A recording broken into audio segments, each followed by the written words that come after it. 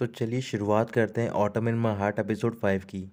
जैसा कि आपने पिछले एपिसोड में देखा था कि युनसु ने जुनसु को देख लिया होता है। जुनसु कुछ पूछने के बाद युमी के साथ अपने कार में बैठता है और वो युनसु के सामने से गुजर जाता है। ये देखकर युनसु जुनसु की कार का पीछा कर रही होती है। कुछ ही मिनट बाद जुनसु यूमी के साथ बीच पर पहुँच जाता है और वहाँ पर वो सारे मोमेंट याद कर रहा था जो कि उसने युनसु के साथ बताए होते हैं। उसी टाइम यूमी को वहाँ पर तेसु दिखाई देता है तो फिर वो जुनसु को बताती है। जुनसु तेसु को देखते ही उसे अपने पास बुलाता है। तेसुक जुनसु के पास जाता और उससे बात कर रहा होता है और यूमी वहीं दूर जाकर बैठी हुई होती है। तेसु का गाल लाल होता है। जुनसु पूछ रहा होता है कि ये किसने किया है? फिर तेसुक बोल रहा होता है कि ये मेरी पर्सनल मेड ने किया है। ये सुनते ही जुनसु बहुत ज़्यादा गुस्से में आता है और तेसुक से बोल रहा होता है कि तुम मेरे बहुत ही अच्छे फ्रेंड हो, लेकिन कभी कभार तुम मुझे बहुत ज़्यादा गुस्सा दिलाते हो। मैंने तुम्हारी मेड से बात की, वो काफ़ी अच्छी है। अगर तुम उसके बारे में सीरियस नहीं हो तो फिर तुम यहीं पर रुक जाओ। तेसुक कह रहा होता है कि मैं उसके बारे में बिल्कुल सीरियस हूँ।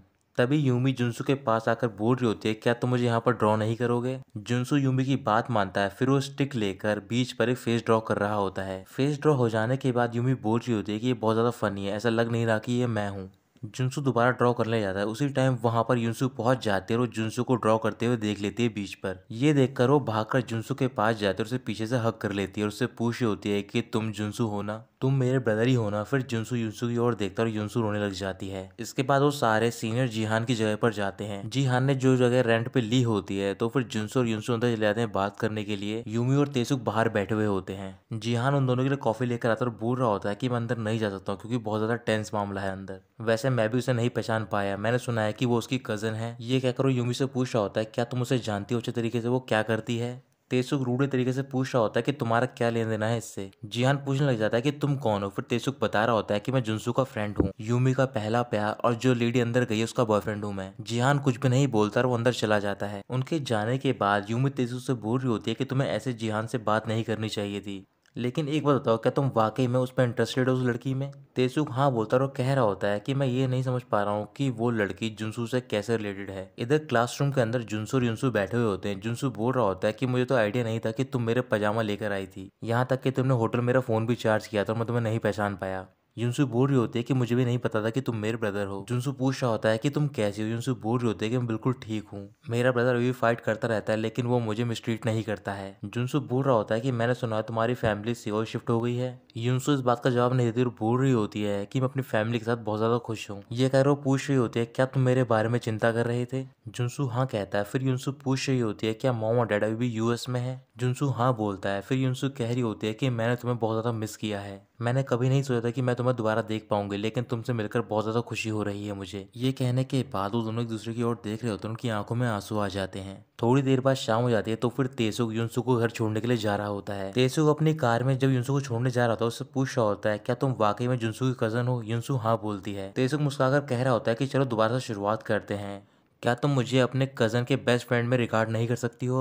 ये बहुत ज़्यादा टेरेबल हो गया है, क्योंकि अगर जुनसु को पता चल गया कि मेरी वजह से तुम्हारी नौकरी चलेगी तो फिर मुझे मार देगा। जुनसु बोल रही होती है, कहीं तुमने उसे बताया तो नहीं है इस बारे में? तेसुक मना करता है, फिर युनसु कह रही होती है, क्या तुम मेरे लिए मैनेजर किम से बात कर सकते हो? मुझे मेरी जॉब वापस चाहिए, क्योंकि मैं नहीं चाहती हूँ कि जुनसु मुझे ऐसी हालत में देखे। तेसुक कह रहा होता है, क्या तुम्हारे लिए इतना इंपॉर्टेंट है? युनसु हाँ बोलती है। इसके कुछ देर बाद तेसुक युनसु के साथ होटल में जाता और वहाँ पर मैनेजर किम से मिल रहा होता है। मिलने के बाद वो उनसे बोल रहा होता है कि की कोई भी गलती नहीं थी, सारी गलती मेरी थी। और वैसे भी उस दिन कुछ नहीं हुआ था। मैनेजर किम बोल रही होती है कि मैंने कब कहा कि युनसु को यहाँ से रिजाइन करने के लिए और अब तुम यहाँ पर अपने बॉयफ्रेंड को लेकर आई हो मुझे दिखाने के लिए। ये सुनते ही तेसु गुस्से में आते और चिल्लाकर बोल रहा होता है कि युनसु बहुत ही अच्छी लड़की है। किसी तरीके से युनसु तेसु को बाहर लेकर जाती है ताकि वो और बात ना बिगाड़ दे। उसे बाहर निकालने के बाद वो मैरिकम से बात करती है और वहाँ से चली जाती है अपने घर की ओर। रात को युनसु अपने घर पे पहुँचती है और अपनी मोम के साथ लेट जाती है। मॉम उठ जाती है और उससे बोल रही होती है कि आज क्या हुआ था? क्या तुम्हारे ब्रदर ने दोबारा उस ओल्ड मैन के साथ तुम्हें डेट पे भेजने के लिए मजबूर किया? उसी टाइम गुस्से में वहाँ पर युनसु का भाई पहुँच जाता है। युनसु से देखकर बाहर भाग जाती है और उसका भाई भी बाहर जाता है उसे पकड़ने के लिए। युनसु को पकड़ने के बाद उसका भाई उसे पीटने लग जाता है। फिर युनसु की मॉम बाहर आती है और वो किसी तरीके से उसके भाई को वहाँ से भगा देती है। फिर वो दोनों घर के अंदर वापस जाते हैं युनसु अपना सारा सामान पैक कर लेती है। उसकी मॉम पूछ रही होती है कि अब तुम कहाँ पर जाओगी? युनसु कह रही होती है कि आप चिंता मत करो, मेरे बहुत सारे फ्रेंड है, मैं उनके यहाँ चली जाऊँगी। फिर वो कुछ पैसे अपनी मॉम को देती है और वहाँ से चली जाती है अपने सामान लेकर। अगली सुबह जुनसु उठता है और वो बाहर जाता है और देखता है कि वहाँ पर युनसु बैठी हुई होती है। जुनसु युनसु को देखकर उसे बुलाता है। युनसु खुश होकर उसके पास आती है बोल होती है, क्या मैं जल्दी आ गई हूँ?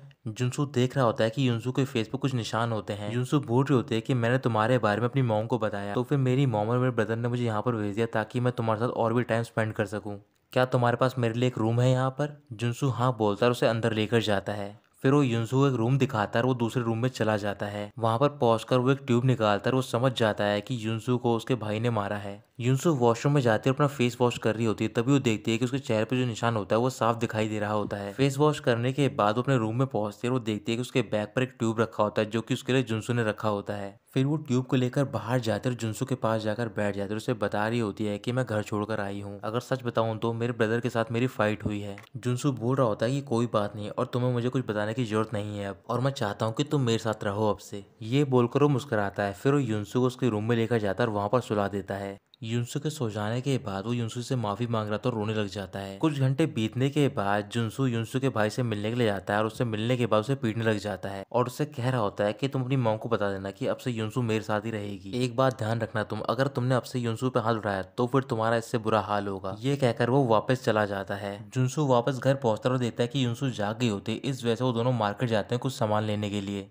युनसु वेजिटेबल खरीदती है मार्केट से ताकि वो जुनसु के लिए डिनर प्रिपेयर कर सके। पूरी शॉपिंग करने के बाद दोनों वापस घर पहुँचते हैं तो फिर वो देखते हैं कि वहाँ पर यूमी पहले से ही मौजूद होती है। वो उन दोनों को बैठाती है और उन दोनों के लिए खाना सर्व करती है, जो कि उसकी मोम ने उनके लिए पैक किया होता है। वो खाना खा रहे होते हैं, फिर यूमी युनसु से पूछ रही होती है कि तुम कितने दिनों के लिए रुकोगी? यहाँ पर युनसु बोल रही होती है कुछ ही दिनों के लिए। जुनसु मना करता है और कह रहा होता है की अब से युनसु मेरे साथ ही रहेगी और वैसे भी इसके पास कोई जगह नहीं है अब रहने की। यूमी बोल रही होती है की ये तो अच्छी बात है। वैसे ही मुझे काफ़ी चिंता हो रही थी की यहाँ पर जुनसु अकेला रहेगा। तुम यहाँ पर रहोगी तो फिर तुम उसकी देखभाल कर लोगी। ये सुनकर युनसू हाँ बोलती है। डिनर करने के बाद जुनसु यूमी को छोड़ने के लिए जा रहा होता है और दोनों रास्ते में बात कर रहे होते हैं। यूमी कह रही होती है, कहीं तुम बोले तो नहीं हो कि इस वीकेंड पर हम तुम्हारे पुराने घर में जाने वाले हैं? जुनसु बोल रहा होता है कि हाँ मुझे याद है। तभी यूमी कहते हैं, क्यों ना हम ऐसा करें कि हम युनसु और तेसु के साथ वहाँ पर जाएँ? जुनसु बोल रहा होता है कि मुझे नहीं लगता कि युनसु वहाँ पर जाना जाएगी तो फिर हम खुद ही चले जाएँगे वहाँ पर। ऐसे बात करते करते वो होटल तक पहुँच जाते हैं और जुनसु बोल रहा होता है कि तुम होटल के अंदर चली जाओ, यूमी मना करती है। तुम भी यहीं पर रुक जाओ, मेरे साथ जुनसु मना करता है और बोल रहा होता है कि मुझे वापस जाकर युनसु को गुड नाइट बोलना होगा। यूमी बोल रही होती है कि तुम इतनी दूर उसको गुड बाय बोलने के लिए जाओगे? जुनसु हाँ कहता है।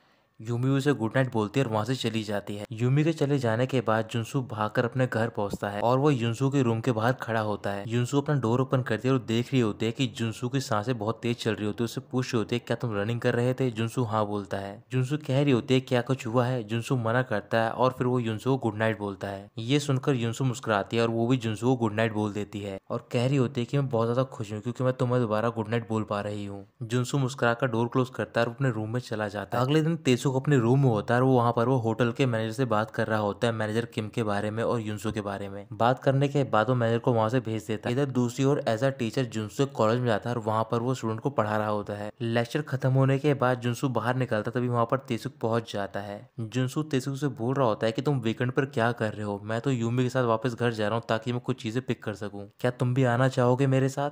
तेसु पूछ रहा होता है क्या युनसु भी वहाँ पर रहती थी जुनसु कुछ भी नहीं कहता। इसके बाद तेसु बोल रहा होता है कि तुमसे बात करने के लिए आता है, ये काफ़ी ऑकवर्ड है। लेकिन क्या तुम युनसु को बता दोगे कि मैं बहुत ही अच्छा लड़का हूँ? जुनसु मना करता है और बोल रहा होता है कि तुम उसके लिए उतने अच्छे नहीं हो। तेसु कह रहा होता है कि तुम हमेशा उसके साथ नहीं रहने वाले हो। क्या तुम्हें पता भी है कि उसे फोर्स किया गया है कि वो एक बूढ़े आदमी से शादी करे? ये सुनकर जुनसु चौक जाता है। ये कहने के बाद तेजुक वहाँ से चला जाता है और वो जाके युनसु से मिल रहा होता है और उसे बता रहा होता है कि अब तुम कल से काम पर आ सकती हो। युनसु काफ़ी खुश होती है और बोल रही होती है कि मैं काफ़ी ग्रेटफुल हूँ। तेसुक कह रहा होता है कि अगर तुम इतना ही ग्रेटफुल फील कर रही हो तो फिर तुम मुझे लंच पे ले जा सकती हो। युनसु बोल रही होती है कि हाँ मैं इतना तो कर ही सकती हूँ। फिर अचानक से तेसुक युनसु की ओर देखकर बोल रहा होता है कि तुम्हें ऐसे ही किसी पे मुस्कुराना नहीं चाहिए। तभी वहाँ पर जुनसु जाता है उसे देखकर युनसु बहुत ज़्यादा खुश हो रही होती है। अगले दिन युनसु अपने कामयाने की होटल में पहुँच जाती है तो फिर वहाँ पर जो उसकी कलीग होती है, उसे बता रही होती है, क्या तुम्हें पता है? मैनेजर किम को पूल साइड पे असाइन कर दिया गया है और ऐसा सुनने में आ रहा है कि जो नया डायरेक्टर है, वो मैनेजर किम के अगेंस्ट में है। और ऐसे रूमर भी फैल रहे हैं कि तुम्हारे और नए डायरेक्टर के बीच में कुछ चल रहा है। यूसुफ मना करती और बोल रही होती है कि वैसा डायरेक्टर कौन है यहाँ का? वो कलीग बता रही होती है कि वो जो पर्सन है, वो चेयरमैन का यंगेस्ट बेटा है। उन्होंने अपने ट्रबल मेकर बेटे को यहाँ पर भेज दिया और ये एक सीक्रेट है। यूसुफ कह रही होती है कि मैं थोड़ा ना उसे जानती हूँ। तभी वो कलीग बता रही होती है कि उस पर्सन का नाम है हान तेसुक। ये सुनते ही युनसु चौक जाती है, तभी वहाँ पर तेसुक पहुँच जाता है और युनसु से बोल रहा होता है कि मैं तुम्हें ढूंढ रहा था। युनसु गुस्से में वहाँ से चली जाती है और तेसुक उसका पीछा कर रहा होता है। फिर वो उसे एक जगह पर रोक लेता है। युनसु गुस्से में कह रही होती है कि तुम मुझे टच मत करो। तेसुक कह रहा होता है कि क्या प्रॉब्लम है? अगर मैं डायरेक्टर हूँ यहाँ का तो।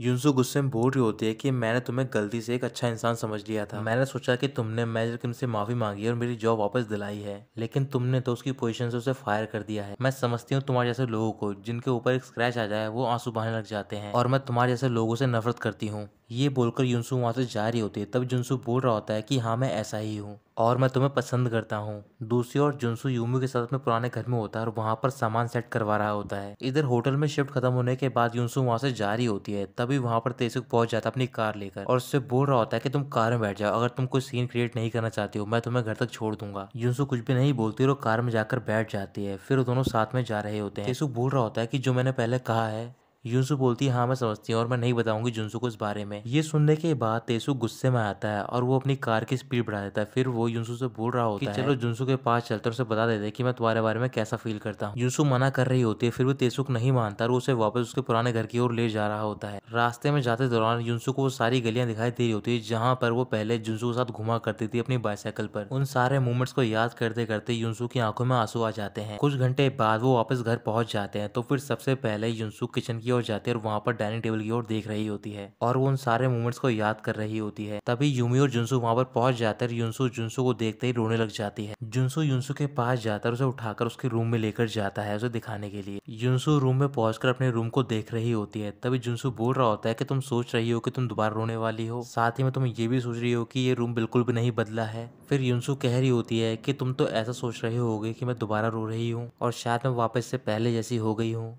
ये सुनकर जुनसु मुस्कुराने लग जाता है। इसके बाद शाम को वो चारों पासी के बीच पर जाते हैं और वहाँ पर पहुंचकर जुनसू और तेसुक फिशिंग कर रहे होते हैं। यूमी और युनसु साथ में सामान सेट कर रहे होते हैं। यूमी बोल रही होती है कि तुम काफ़ी क्लोज रही हो अपने कज़न के। जुनसु हाँ कहती है, वो यूमी से पूछ रही होती है कि तुम कैसे मिली थी जुनसु से? यूमी बता रही होती है कि सबसे पहले मैं तेसु की फ्रेंड थी। जुनसु तो मुझसे बात भी नहीं करता था। फिर एक दिन उसने मुझसे अचानक पूछा कि मैं दोबारा पैदा होकर क्या बनना चाहूँगी? जुनसु पूछ रही होती है कि तुमने क्या जवाब दिया उसे? यूमी बताती है कि मैंने जवाब दिया कि मैं एक ट्री बनना चाहूँगी। जुनसु थोड़ी सी सरप्राइज़ हो जाती है वो याद कर रही होती है कि उसने यही सेम बात जुनसु से ही बोली होती है बचपन में। यूमी बोल रही होती है कि ऐसी हमारी मुलाकात हुई और तब से हमारी ऐसी बातचीत बढ़ी। इधर तेसुक जुनसु के साथ फिशिंग कर रहा होता है और उसे बता रहा होता है कि मैंने युनसु को बता दिया है कि मैं उसे पसंद करता हूँ। जुनसु बोल रहा होता है कि फिर युनसु ने क्या कहा है?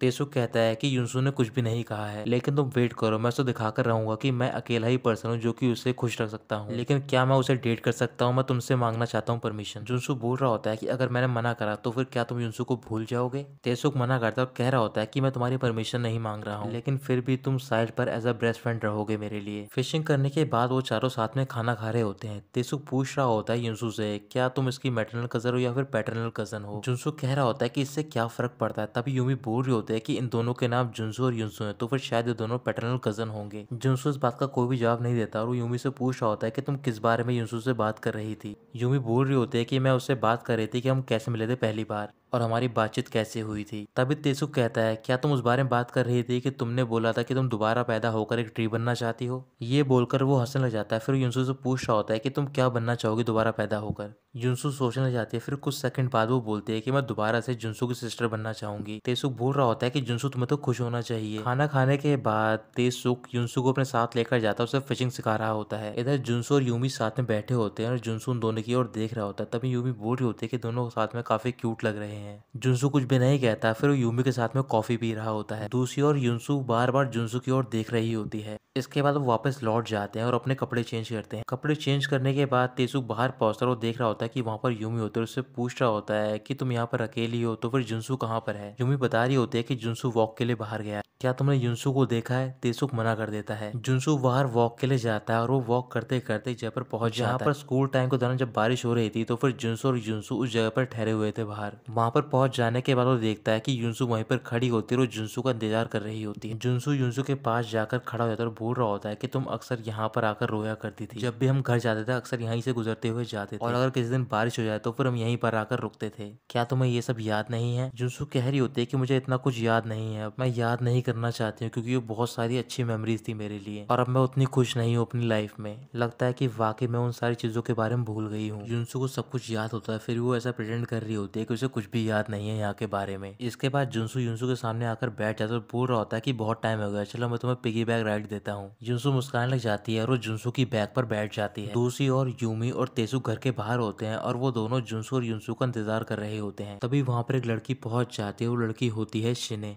शिने खुश होकर तेसु के पास जाती उसे हक करके बोल रही होती है कि मैं तुम्हें बहुत मिस किया है। इधर जुनसु युनसु को पिगी बैग राइड दे रहा होता है। तो फिर युनसु पूछ रही होती है, क्या मैं हैवी हूँ? जुनसु मना करता है। फिर युनसु बोल रही होती है कि लगता है कि अब मैं लाइन में तीसरे नंबर पर हूँ। मॉम को हटाकर यूमी पहली है, फिर शिने है, फिर उसके बाद मैं हूँ, है ना? जुनसु बोल रहा होता है कि तुम थर्ड नहीं हो। जुनसु कह रही होती है कि अब मैं थर्ड भी नहीं हूँ, तुम बहुत ज़्यादा मीन हो। जुनसु कहना चाह रहा होता है कि वो फ़र्स्ट है, लेकिन युनसु नहीं समझ पाती है। फिर जुनसु से पूछ रहा होता है कि मेरे बारे में क्या? मेरी क्या पोजिशन है। जुनसु बोल रही होती है कि इसमें कोई पूछने की बात है, तुम हमेशा से फ़र्स्ट हो मेरे लिए। ये कहने के बाद वो बोल रही होती है कि अब तुम थक गए हो तो फिर मुझे नीचे उतार दो। जुनसु नीचे उतारता है और युनसु आगे की ओर चलने लग जाती है और जुनसु उसके पीछे पीछे चल रहा होता है। इधर घर पे शिने अपने भाई जुनसु के बारे में पूछ रही होती है, यूँ भी बता रही होती है कि अपने कज़न के साथ बाहर गया है। शिने बोल रही होती है कौन सी कज़न तुम्हारा कहने का क्या मतलब है? तभी वहाँ पर जुनसु और युनसु पहुँच जाते हैं। तो दोस्तों, यहीं पर खत्म होता है ये एपिसोड